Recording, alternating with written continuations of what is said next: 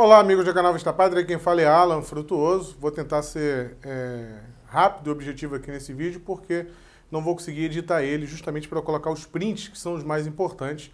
Mas surgiu um sinal de alerta, na verdade, é, o fim da picada foi na sexta-feira, mas devido às sinalizações aí que o filho do presidente, o Carlos Bolsonaro, tem dado hoje, né, nessa segunda-feira, isso não pode ser é, passado é, despercebido, né, e é muito importante que as pessoas aí que se preocupam com o sucesso do país, que se preocupam com o sucesso do governo Bolsonaro, é, é tenham atenção para isso. Né, em muitos casos aí, infelizmente, com, com culpa do próprio presidente, né, culpa não, cabeça dura, e a gente está falando aqui mais especificamente da comunicação do governo. Isso aí é algo que já tem sido batido há muito tempo, né? É, é, inclusive gente da própria imprensa aí é, jogando isso, a dificuldade da comunicação. Sabemos bem que tinha aí o Santos Cruz é, responsável por esse setor, né? não diretamente, mas é, ele que brecava muita coisa ali, e inclusive essa dificuldade da reforma da Previdência, é, no início né, de passar a mensagem, teve muito a ver com isso. O Carlos Bolsonaro hoje, é, como ele sempre faz, né, numa, numa insistência ali de passar as coisas boas que estão acontecendo no país, ele fez várias postagens lá é, muito interessantes, inclusive uma delas aí referente ao Ministério de Relações Exteriores, do, do Ernesto Araújo, fechando embaixadas. Então, e, e dentro desse contexto, né, o Carlos Bolsonaro, ele tem alertado para a ineficiência do cafezinho com o jornalista e, mais do que isso, né, a ineficiência de certos setores dentro do próprio governo que estão colocando a comunicação do governo Bolsonaro em xeque. É, hoje o presidente da República ele declarou né, que manteria aí o cafezinho com os jornalistas. É, isso foi é, o Carlos Bolsonaro, ele tuitou hoje sobre isso, é, mostrando, expondo que isso, né, ele postou um, um, repostou um tweet do Lenho Verde, né, o nome lá do nickname da pessoa, e o, o, qual o problema disso? O problema é que o Bolsonaro, tudo que ele fizer, tudo que ele tentar para fazer para ser um apaziguador, é, eles vão tirar de contexto e vão tentar é, é, atacá-lo de alguma forma. E o, essa preocupação exposta pelo Carlos Bolsonaro ela, ela é, é, está corretíssima. Porque o quê? O Donald Trump, nos Estados Unidos, ele se elegeu com um discurso né, com um certo tom contra essa imprensa que manipula as informações e manteve é, é, esse tom. Então ele mantém um direcionamento, ele mantém uma linha de raciocínio e dessa forma ele deixa em alerta o tempo todo né, os seus seguidores, os seus eleitores que sempre olham com desconfiança aí para essas manipulações da imprensa. Nesse tweet, o Carlos Bolsonaro ele tenta a, alertar que isso é uma tarefa né, em vão do presidente da República ficar tentando fazer afagos nessa imprensa aí já, é, que mostrou há muito tempo a que veio e não vai dar certo. Agora, o que me deixa mais preocupado não foi nem esse tweet, mas um tweet que ele fez depois, falando é, sobre o, a, a possibilidade da militância abandonar a defesa do governo. E eu entendi perfeitamente o que ele quis dizer aqui é, nesse ponto. Isso é, é uma, uma, preocupação minha já de algum tempo, mas a gente costuma não falar isso para as pessoas não acharem que ah, tá é, colocando olho gordo, tá, tá pessimista. E a questão é o seguinte, eu canso de falar, né? O que leva o governo Bolsonaro nas costas, o que levou é, o, o presidente Jair Bolsonaro ao poder foi o povo, né? Foi a sua base de apoio que insistentemente é, é, atua nas redes sociais, atua na internet para levar informação, né? Coisa que hoje, com a máquina pública, o governo tem tido é, é, ineficiência para conseguir levar essa, a, essa comunicação.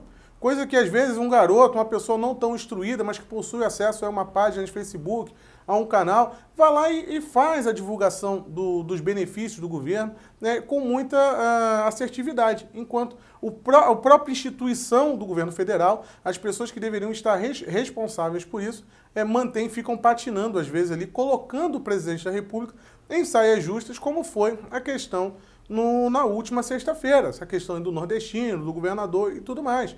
Aquilo ali só aconteceu é porque é, foi colocado aquele, um ambiente de pessoas hostis ao governo, um, o presidente da República ali foi colocado na fogueira, né, praticamente. Apesar do, do, do presidente da República é, inocentar aí a, a intenção do, do Rego Basto, não sei, sinceramente, é, é, é, por má fé ou simplesmente é incompetência mesmo. Mas a incompetência também traz danos e a gente não pode passar pano para ela.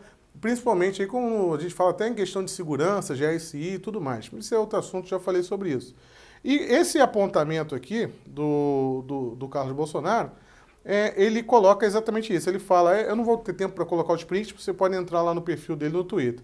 É, ele reclama aí do, do jornalista é, da, da época e depois né, ele coloca aí, deixando que o, ele fala o seguinte: soma-se a isso o boicote explícito de divulgações de direita nas redes sociais. Então, a própria instituição estaria, o governo, né, a, a parte da comunicação estaria boicotando essas informações, essas pessoas que estão atuando a favor do presidente nas redes sociais. É, soma-se a isso, teremos um processo acelerado de enfraquecimento de informações. Não levar o exposto em consideração é algo extremamente grave consciente ou inconscientemente. Apenas seguir até onde a força existir. Então, é, o que está sendo feito aqui pode colocar em xeque, sim, o governo. É, é, os comunistas na, na, na, década de 70, na década de 80, até mais, mas é, é, o, o, livro Desinformação, vocês é, deveriam ler esse livro, ele mostra ali é, como a máquina da esquerda ela atua diretamente em desinformação. Né? Então, é, é, a preocupação aqui que a gente tem em informar, eles têm em desinformar. E se você não manter aí uma máquina né, à altura para combater essa desinformação, simplesmente né, o, a narrativa da esquerda vai prevalecer. Né? E muitas vezes eles tentam emplacar isso com uma certa facilidade e com pouca resistência aí das pessoas que deveriam estar trabalhando diretamente para isso. Tá? Então, esse aí é um ponto muito perigoso. Tá? O Carlos Bolsonaro, inclusive, falou de novo do Rego Basto hoje, disse, não critico homens, mas o modus operandi, me colocando sempre em situações difíceis. Quando a militância espontânea cansar de defender o governo, que, que faz um bom trabalho, nada sobrará, pois a, pois a sua comunicação é o, e é o, pelo jeito, continuará sendo ruim e não seremos é, e então seremos massacrados pela mídia. Então o alerta é seríssimo, é gravíssimo. Né? Eu espero que o presidente da República tenha esse entendimento. Né? Não só de ficar se expondo, como eu fiz um vídeo ontem falando sobre isso, se expondo fisicamente, essas pessoas não estão aí para brincadeira, como também não dá trela, não dá brecha para a máquina de desinformação aí, que a, a grande imprensa faz parte. Eles compram narrativas da esquerda com a maior facilidade.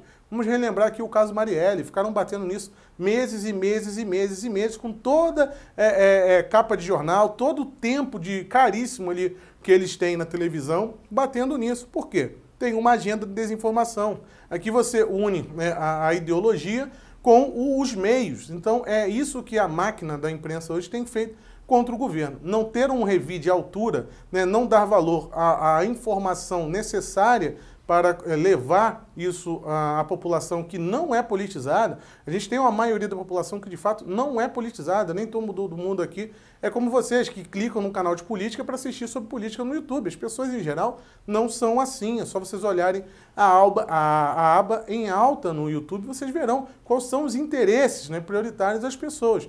Então é muito importante que você tenha uma estrutura forte para fazer chegar a informação nessas pessoas. Muito se fala aí na questão de usar a cadeia de, de rádio e televisão. É, eu acho que seria o momento, já se passou é, um grande momento para isso, seria nos 100 dias e nos 200 dias de governo. É, ele teria motivo para estar tá ali falando, não seria algo é, é, é visto né, como uma certa forma de desespero. Porque vale ressaltar isso também, que no meio de comunicação, quando você um presidente da República vai o tempo todo para a rede nacional de televisão, o Maduro costuma fazer isso lá. Geralmente isso mostra que você está desesperado. Não, mas ali eram momentos propícios de mostrar o que foi feito pelo governo até agora. E por que esses militares ali que estão comandando a comunicação do governo é, não acham interessante isso? É, é, fica a suspeita, fica o questionamento, e é como o Carlos Bolsonaro alertou.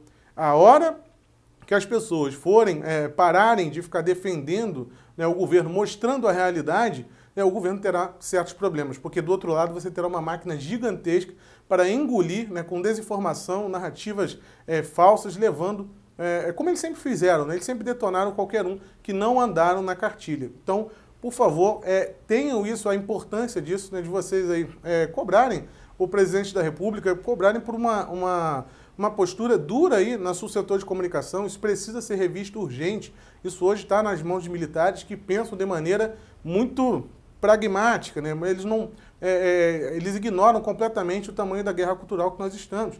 Enquanto o Foro de São Paulo vai se reunindo na Venezuela, aqui a gente é, é fica querendo tratar a imprensa com doce. A mesma imprensa que dizia que o Foro de São Paulo nem existia. Só para vocês terem uma ideia da quantidade de desinformação que nós passamos por anos. Então, é muito importante que o presidente da República se atente a isso, prestem atenção nessa mensagem do Carlos Bolsonaro. Vocês sabem muito bem, quando o Carlos Bolsonaro entra em ação, ele não entra de bobeira.